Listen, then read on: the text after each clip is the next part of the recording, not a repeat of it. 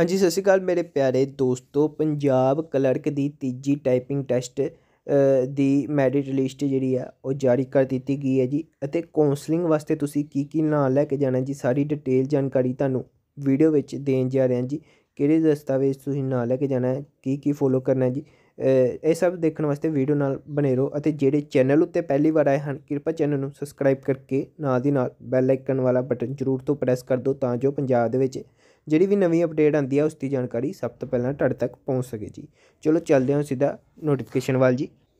ਹਾਂਜੀ ਦੋਸਤੋ, ਇੱਥੇ ਤੁਸੀਂ ਦੇਖ ਸਕਦੇ ਹੋ ਟ੍ਰਿਪਲ ਐਸ ਬੋਰਡ ਪੰਜਾਬ ਵੱਲੋਂ ਨੋਟੀਫਿਕੇਸ਼ਨ ਆਊਟ ਕੀਤਾ ਗਿਆ ਹੈ ਜੀ, ਜਿਨ੍ਹਾਂ ਵਿੱਚ ਕਲਰਕ ਦੀਆਂ ਜਿਨ੍ਹਾਂ ਨੇ ਅਸਾਮੀਆਂ ਦੀ ਤੀਜੀ ਲਿਸਟ ਜਿਹੜੀ, ਤੀਜੀ ਟਾਈਪਿੰਗ ਲਿਸਟ ਜਿਹੜੀ ਆਊਟ ਕੀਤੀ ਗਈ ਸੀ, ਉਹਨਾਂ ਦੀ ਜਿਹੜੀ ਟਾਈਪਿੰਗ ਟੈਸਟ ਸੀ, ਉਹ 17 ਤੇ 18 ਦਸੰਬਰ ਨੂੰ ਤੱਕ ਹੋਇਆ ਸੀ, ਜਿਹਦੇ ਵਿੱਚ ਸਫਲ ਹੋਏ ਉਮੀਦਵਾਰਾਂ ਨੂੰ ਕਾਉਂਸਲਿੰਗ ਵਾਸਤੇ 21 ਤੇ 22 ਦਸੰਬਰ ਤੱਕ ਜਿਹੜਾ ਵਾ, ਉਹ ਬੁਲਾਇਆ ਗਿਆ ਹੈ ਜੀ, ਠੀਕ ਹੈ ਜੀ?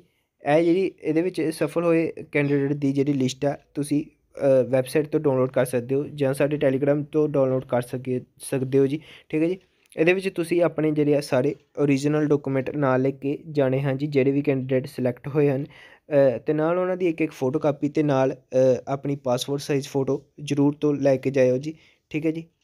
ਇਹੀ ਵੱਡੀ ਜਾਣਕਾਰੀ ਸੀ ਜਿਹੜੀ ਮੈਂ ਤੁਹਾਡੇ ਨਾਲ ਸਾਂਝੀ ਕਰਨੀ ਸੀ। ਪਤਾ ਤੁਸੀਂ ਇੱਥੇ ਨੋਟ ਕਰ ਲਓ ਵਨ ਭਵਨ ਸੈਕਟਰ ਥਰਡ ਮੋਹਾਲੀ ਵਿੱਚ ਤੁਸੀਂ ਜਾ ਕੇ ਆਪਣੀ ਕਾਉਂਸਲਿੰਗ ਵਿੱਚ ਹਾਜ਼ਰ ਹੋ ਸਕਦੇ ਹੋ ਜੀ। ਇਹੀ ਜਾਣਕਾਰੀ ਸੀ ਜਿਹੜੀ ਮੈਂ ਤੁਹਾਡੇ ਨਾਲ ਸਾਂਝੀ ਕਰਨੀ ਸੀ। ਮਿਲਦੇ ਹਾਂ ਨਵੀਂ ਹੋਰ ਅਪਡੇਟ ਦੇ ਨਾਲ। ਤਦ ਤੱਕ ਲਈ ਸਤਿ ਸ਼੍ਰੀ ਅਕਾਲ ਜੀ।